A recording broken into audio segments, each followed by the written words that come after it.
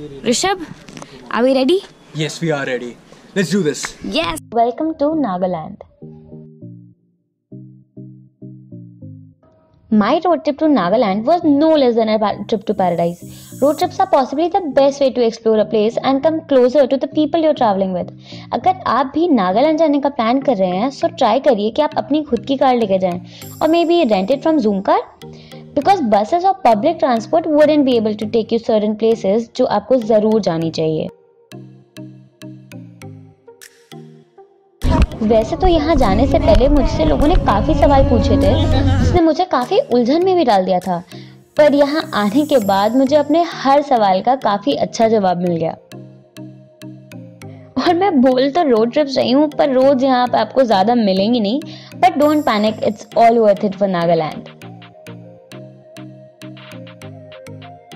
लोगों की बात करें तो Nagaland introduce me to the best of people and अगर आप ये एक्सपीरियंस और अच्छा करना चाहते हैं तो always always go for home stays instead of hotels our home for. bye bye. अगर खाने की बात की जाए तो नागा कुजीन की तो बात ही अलग है। और आप यहाँ आते भी हैं तो नागा चिली जिसे दुनिया की सबसे फीकी मिर्चियों में से एक कहा जाता है, उसे ट्राई करना बिल्कुल भी ना भूलें।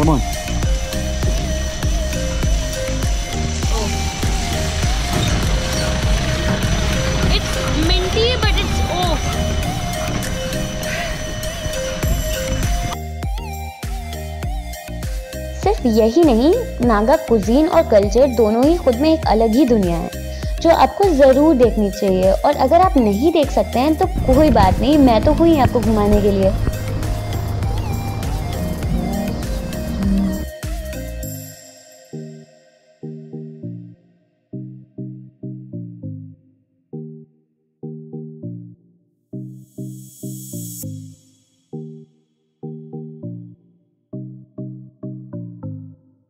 तो आइए चलते हैं नागालैंड एक्सप्लोर करने मेरे और टीम एक्सपीरियंस डेस्टिनेशन के साथ। Guys, look at this beautiful sunset. So we have stopped here for a small uh, break, and as the sun is already setting down, तो uh, हम लोग कल घूमने जाएँगे। आज का प्लान था बट आज हम नहीं जा रहे हैं। So I think I see you guys tomorrow directly when we are already in Khonoma and I am also going to show you how our stay home stay looks like अगर आप आ रहे हो कोहोमा सॉरी खोनोमा अगेन तो आप आप भी यहाँ पे आ सकते हो। सो so, अभी हम लोग दीमापुर से निकले थे सुबह में। ऑल दो दीमापुर से खोनोमा का रास्ता तीन घंटे का है बट हमें थोड़ा पाँच घंटे अराउंड लग गए बिकॉज़ हम लोग थोड़ा आराम आराम से आ रहे थे। So see you guys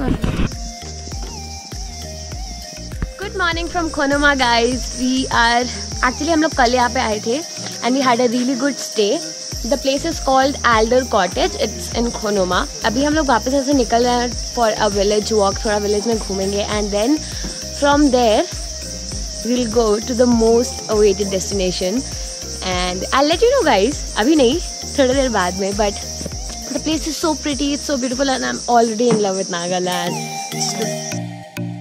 Khonoma ने तो मेरे होश ही उड़ा दिए। तो फिर मिलते हैं अगली वीडियो में खोनुमा से। तो अगर आपको ये वीडियो पसंद आई हो तो please subscribe like share comment सब कर दीजिए and keep watching travelcon for more updates from Nagaland